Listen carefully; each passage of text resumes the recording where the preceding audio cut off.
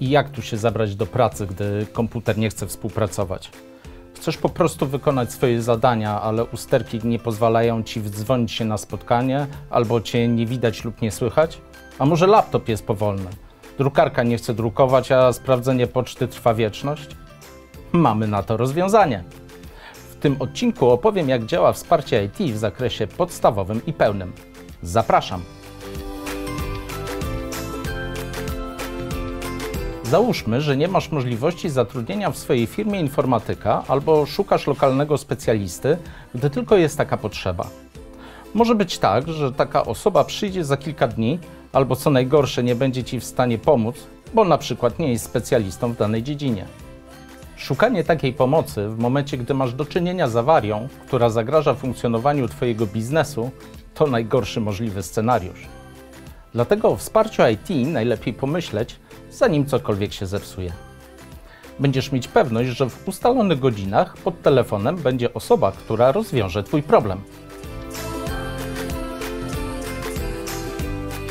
Wsparcie IT jest dostępne w dwóch wariantach: podstawowym oraz pełnym.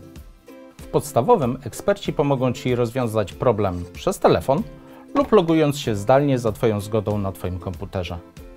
W ramach tej opcji pomożemy Ci na przykład w podłączeniu komputera lub drukarki do sieci, konfiguracji Windows, konfiguracji programów pocztowych i bezpieczeństwa, aktywacji i korzystaniu z oprogramowania Office i Microsoft 365, Word, Excel, PowerPoint oraz pozostałych aplikacji biurowych.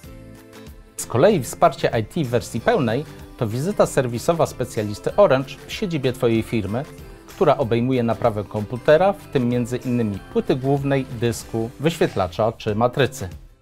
W ramach tej usługi pokrywamy koszty zakupu części niezbędnych do naprawy nawet do 1200 zł netto rocznie. Jeśli nie będziemy mogli naprawić sprzętu na miejscu, zabierzemy go i na czas naprawy zostawimy Ci komputer zastępczy.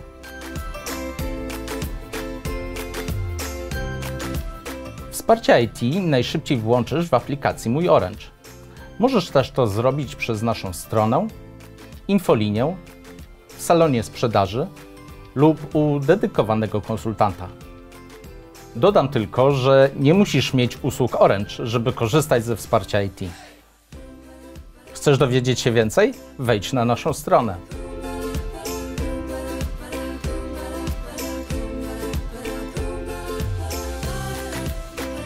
A w tym odcinku to wszystko.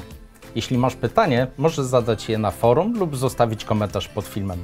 Dziękuję i do zobaczenia.